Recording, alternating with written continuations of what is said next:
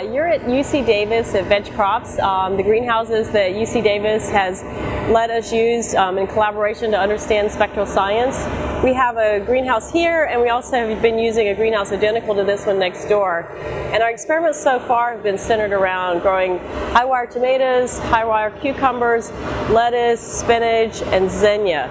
Um, looking at different light intensities, different light ratios, and comparing them also to traditional high pressure sodium lighting. Back again at the UC Davis Veg Crops Greenhouse, and this is another little bit of work that's being done by a high school student here in the area. We like to work with high school students, get them excited about agriculture.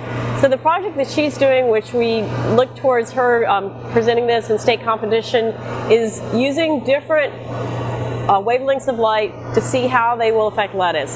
So in this case, she's using red, blue, and white light to see how it will affect the maturation of a red lettuce. This, in this case, it's red Salus. So these young lettuce plants, just um, a couple of weeks old, um, already we're seeing a color development in the red lettuce It's much greater under the blue light in contrast to the white light.